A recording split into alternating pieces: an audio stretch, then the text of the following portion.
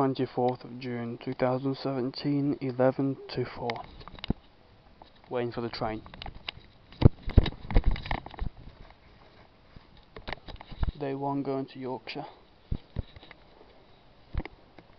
Mm -hmm. Should get to Richmond for about half past nine, something like that. And then walk from there.